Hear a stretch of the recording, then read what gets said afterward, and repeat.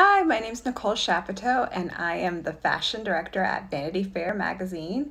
I attended New York University and I have a bachelor's degree from there.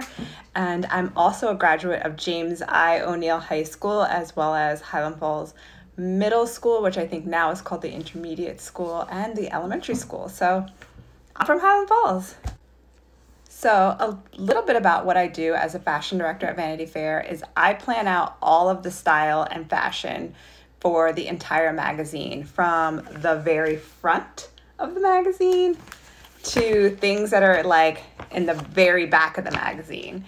Everything that's on a celebrity, that's on like, cool, look at Billie Eilish. Um, I plan all of that. So I either style the photo shoots myself or I work with a freelance stylist and help them develop a concept of the fashion direction that we want to go in.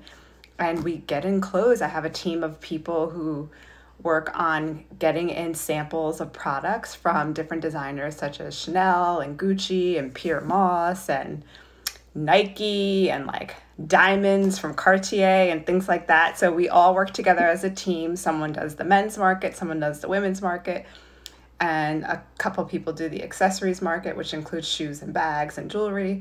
And we all get together and we come up with a concept for the photo shoot. So we do fun things like that. Probably one of the funnest things to do was actually this cover of Billie Eilish. I got to have a Zoom call with her because right now we're in COVID, so I'm working from home and I do a lot of Zoom phone calls. So I got to have a really fun, cool Zoom phone call with Billie Eilish and the stylist and photographer on that. And I'd say another really fun thing that I've done was this cool cover of Alexandria Ocasio Cortez.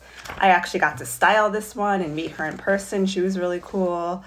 And another really super fun thing I recently just did was the Vanity Fair Hollywood cover, which had Michael B. Jordan, Charlize Theron, Zendaya, Sacha Baron Cohen, also known as Borat, Flip It Over, Lakeith Stanfield, Spike Lee, Maya Rudolph, Flip the Page, Dan Levy, Michaela Coel, and Awkwafina. So that was super fun. We did that all over Zoom.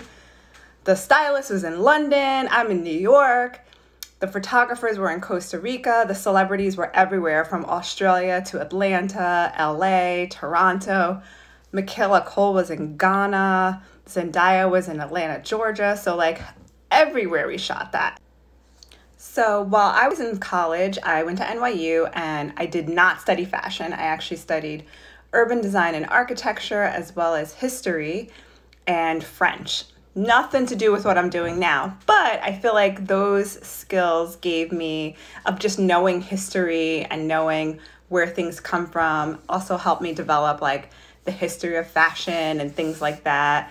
Like, um, so you, you you can use like what you learn in school a little bit to also like develop another career and just gave me some discipline. But I did join the Fashion Business Association while I was in NYU and I took a bunch of classes at FIT because I started to become interested in fashion a lot more. I was always really interested in it. When I was in middle school, I like loved to dress up.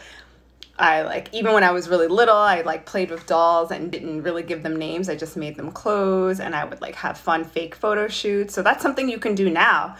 If you're interested in styling and fashion, you can work on yourself, you can work on a friend once COVID is over and do some photo shoots and maybe perhaps you're interested in the photography aspect of it pick up a camera. Even you know iphones are great or even just disposable cameras. Most of like the really best photographers don't even use digital. They use real film cameras. So you can ask your teacher what a real film camera looks like. But they're really great and just start taking some pictures and doing things like that. Not what you see on Instagram and TikTok, but like really think about composing a shot and putting all things together. Like this is something we thought about with AOC was like, let's have her in front of this flower wall. How far back is she gonna stand? How far, you know, where should her arms be? Should she have a smile on her face? How should the clothes fit? That's something that we you know think about a lot and that's something that you can start to think about now as a middle school student that's all I can think of. It's a really cool, fun job, and I get to travel a lot and meet really great people. So it's something you should look into.